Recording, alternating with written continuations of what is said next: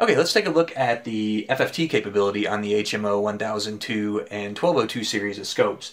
Um, what I have right now is I just have a square wave um, that I'm outputting on the pattern generator. Um, it's a square wave at 5 megahertz, um, so we'll have some good harmonics that we can take a look at. Um, one of the first things you'll notice is that there's a dedicated FFT button on the um, scope, and we'll go ahead and turn on the FFT capability. And the next couple things that you'll notice are the fact that we split the display so you can still see the actual waveform itself up above um, and then we have the FFT uh, down below. And a couple things to notice. One you can control the span of the signal that you're looking at by using the horizontal um, division control. Um, you can also use a position control to change where the um, signal is located on the screen and um, essentially set your center frequency. And so we'll set our center frequency at 25 megahertz We've got a span of 50 megahertz.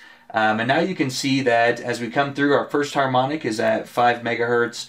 Um, our third harmonic is here at 15 megahertz. Our fifth harmonic is at 25 megahertz, right on the center frequency um, piece itself. A couple other things that are really kind of unique in this class of scope. Um, you can adjust your Y scaling. Um, you can change your windowing capability.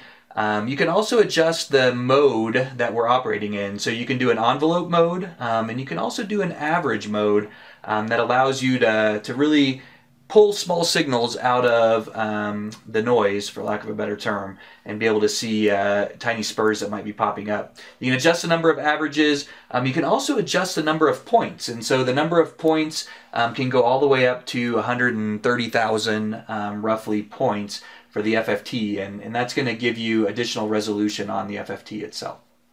And one very cool capability that it has is the ability to come in and turn on cursors. And the cursors, cursors will go through and actually find the peaks for you. So we can say, let's find the previous peak. Um, we'll go to the very first one. As you can see, it's at 5 megahertz.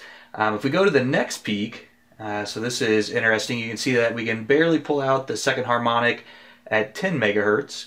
Um, and then we can go ahead and step to the next peak after that. This one's third harmonic at 15 megahertz, um, fourth harmonic at 20, fifth harmonic at roughly 25 megahertz.